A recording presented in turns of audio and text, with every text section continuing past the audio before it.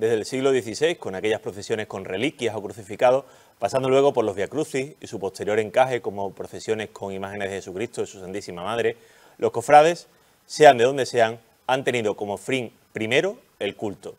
Luego vendrían otras cosas secundarias, pero nuestro fin, y muchas veces me gusta recalcarlo, es el culto, tanto interno como externo. Es nuestro sino, nacimos para eso y las cofradías serán muchas cosas, pero esencialmente son entes de culto público. El interno, valiosísimo, pero especialmente el externo, por lo que fueron usadas en el siglo XVI en la Contrarreforma para combatir la decisión de Martín Lutero. Por ello, desde entonces hasta nuestros días, las procesiones son nuestra forma de vivir la fe. Luego vendrá el apartado formativo, el caritativo, que no solidario y tantas otras cosas más. Y es por eso por lo que esta pasada Semana Santa se nos ha truncado buena parte de nuestra identidad.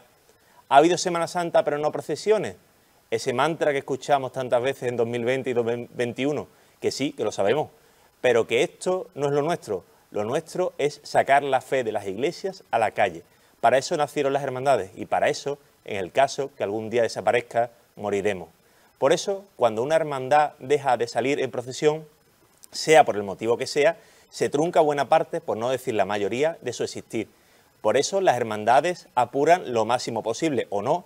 Por eso algunas lágrimas que quieren eh, de quienes trabajan todo el año y por eso tanto y tanto que hemos visto la pasada Semana Santa junto a nuestras hermandades. Somos y seremos herramientas de Dios para evangelizar con nuestro culto externo. Y el que no crea en eso, quien no lo quiera ver, deberá encajarse en otra realidad religiosa, pero no en nuestras cofradías.